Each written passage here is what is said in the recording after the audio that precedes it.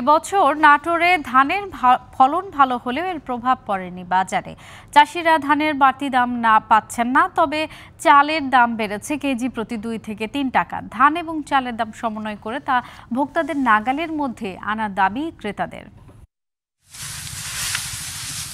নাটোরে এবার রোপা আমন ধান রোপণের লক্ষ্যমাত্রা ধরা হয়েছিল বিশ হাজার হেক্টর জমিতে। কিন্তু লক্ষ্যমাত্রার চেয়েও বেশি জমিতে রোপা আমন ধানের উৎপাদন হয়েছে। আবহাওয়া অনুকূলে থাকায় ফলনও হয়েছে বেশ ভালো। গত বছরের তুলনায় এবছরে ধানের ফলন বেশি। আমরা বাহিরে ধান বিক্রি করি ধানের দামও বেশি পাই আমাদের কোনো সমস্যাও নাই। এদিকে বাজারে ধানের দাম না বাড়লেও কাটা মারাইয়ের মৌসুমে চালের দাম ঊর্ধ্বমুখী। বিভিন্ন ধরনের চিকন চাল বিক্রি হচ্ছে বান্ন থেকে ষাট টাকা দরে। মাঝারি মানের বিয়ার আটাশ এবং উনত্রিশ বিক্রি হচ্ছে পঁয়তাল্লিশ থেকে আটচল্লিশ টাকা দরে। মোটা চাল চল্লিশ টাকার উপরে বিক্রি হচ্ছে কেজি প্রতি। কাটারি চলবে হচ্ছে আপনার পঞ্চান্ন ছাপ্পান্ন টাকা। এখন এসে প্রায় দুই তিন বছর ধরে একই অবস্থা দেখছি ধান যখন নতুন উঠে তখনই দাম বেশি। নাটোরের বিভিন্ন হাট বাজারে নতুন ধান বিক্রি হচ্ছে এক হাজার থেকে এক হাজার তিনশো টাকা মন দরে।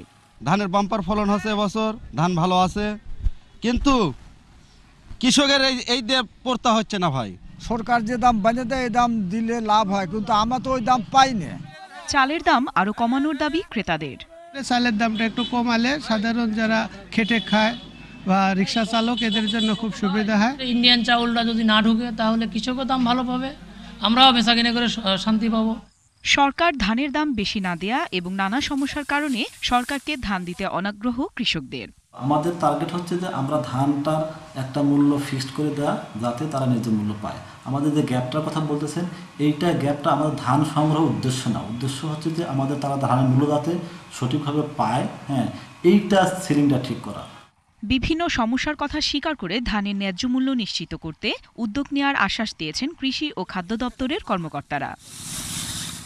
DBC news desk.